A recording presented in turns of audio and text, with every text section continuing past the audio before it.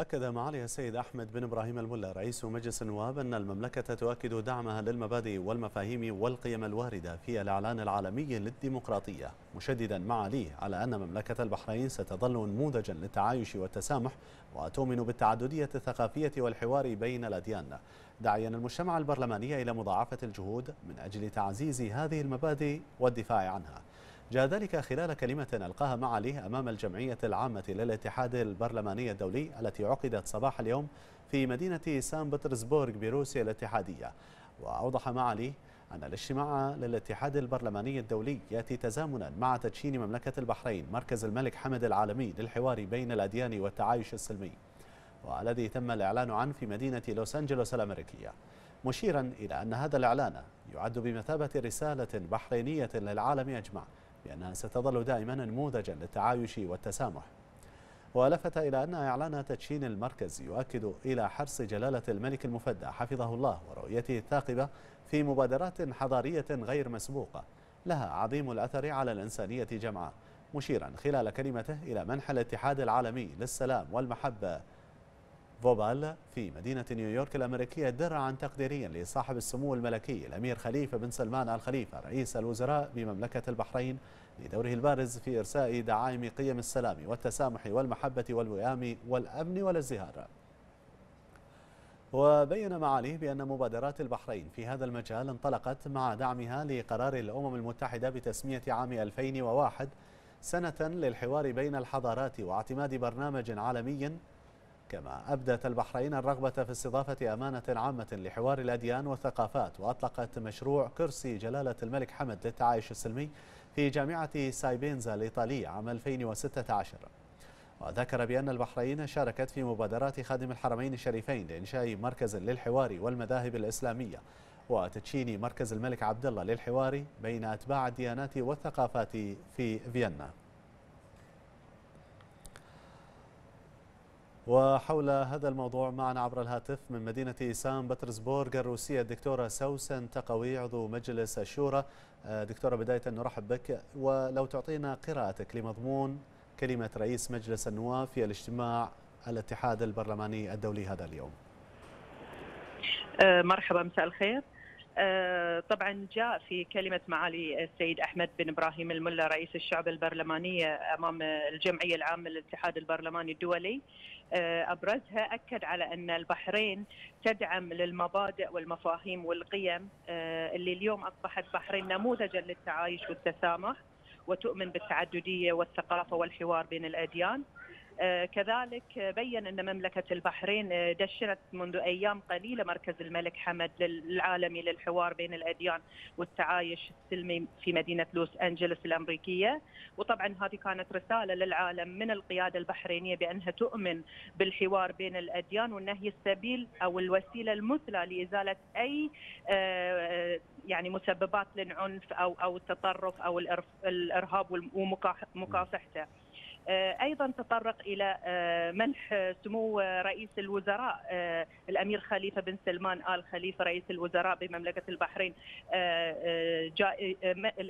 طبعا منحه هو الاتحاد العالمي للسلام والمحبة المعروفة باسم فوبال في مدينة نيويورك الأمريكية. الدرع التقديري له وطبعا هذا دور يعني بارز في إرسال سموه له دور بارز في إرسال قيم السلام والتسامح آه، والمحبة نعم. آه، كذلك بين السيد أحمد الملا مملكة البحرين بأنها شاركت في مبادرة مثل ما تفضلت مبادرة خادم الحرمين الشريفين لإنشاء مركز للحوار بين المذاهب الإسلامية نعم.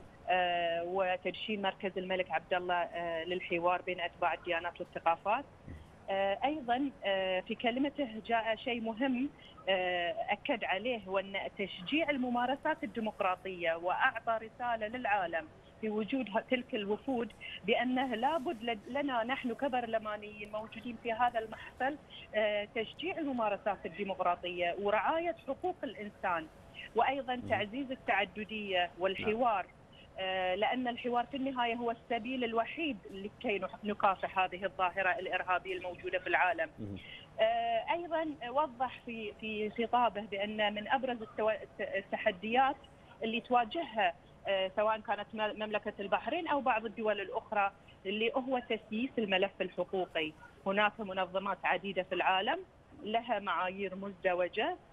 تتعامل في ملفات حقوق الإنسان بهذه المعايير الازدواجيه ولديها أجندة سياسية وهذا كان المسج الصريح له بأن هذا التدخل تدخل مرفوض تاما لأنها تدخل في سيادة الدول. طيب دكتورة سوسن عذرا المقاطعة ولكن باختصار هل لك أن تحدثينا عن مشاركتك أنت في منتدى الشباب البرلمانيين التابع للاتحاد البرلماني الدولي؟ نعم إحنا طبعا مهم جدا كان لنا بأن نبين تجربة مملكة البحرين في الملف الشبابي لأن جهود مملكة البحرين جاءت موائمة بين رؤيتها الاستراتيجية واهداف التنمية المستدامة. ووضحنا لهم ال 17 هدف الاستراتيجي الموجود تحت هذه الاستراتيجية وهو يخص الشباب. وضحنا لهم الاستراتيجيه الوطنية للشباب كما بينا لهم بأن هناك جائزة للملك للملك حمد في تمكين الشباب لتحقيق أهداف التنمية المستدامة. وأيضا بينا لهم أن من خلال تحقيق الإنجازات الرياضية سوف يتم رفع مستوى الشباب في هذا المجال الرياضي. بينا لهم أن هناك تجربة فريدة لمملكة البحرين وهو إنشاء مدينة الشباب 2030 اللي بين اللي, اللي كان يحوي أبرز المجالات والتخصصات اللي يهتمون فيها الشباب في هذا الوقت وفي هذا الزمن التقني نعم. أيضا وضحنا لهم بأن هناك مبادرة جدا مهمة للبحرين في مشروع سفراء الشباب العربي بالإضافة إلى وضحنا لهم بأن هناك دوري للرياضة وللمراكز الشبابية يسمى دوري خالد بن حمد ووضحنا بأن خالد بن حمد هو شاب اليوم رياضي يهتم في الرياضة ويهتم بفئة الشباب. نعم وهذه المبادرة أيضا تختص بفئة الفتيات وأيضا لذوي نعم الإعاقة. الفتيات وذوي الإعاقة. أيوة نعم.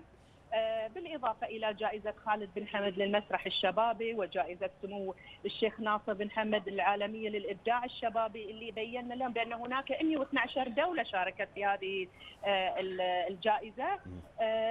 أيضا كانت بعض النقاط لابد لنا أن نوضح بأن هذا الشباب سواء كان في مملكة البحرين أو في العالم أو في الدول الأخرى بانها لديها تحديات تواجهها إن كانت التحديات على المستوى المحلي أو إن كانت على التحديات على المستوى يعني مستويات أخرى فنسبة البطالة قد تكون في في مملكة البحرين نسبة بسيطة ولكن في دول العالم تصل نسب البطالة إلى نسب عالية جدا.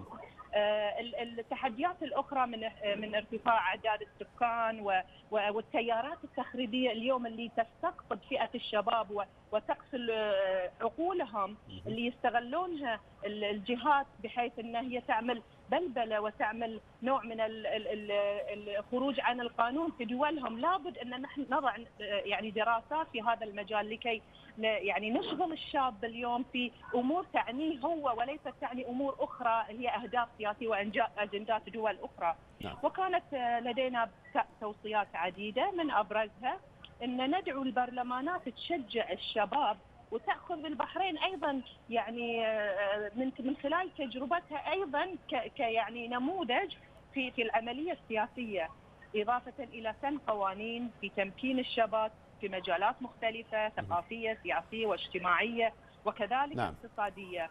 اذا من سا مدينة سان بطرسبورغ الروسيه دكتورة سوسن تقوي كنت معي على الهواء مباشرة عبر الهاتف شكرا جزيلا لك.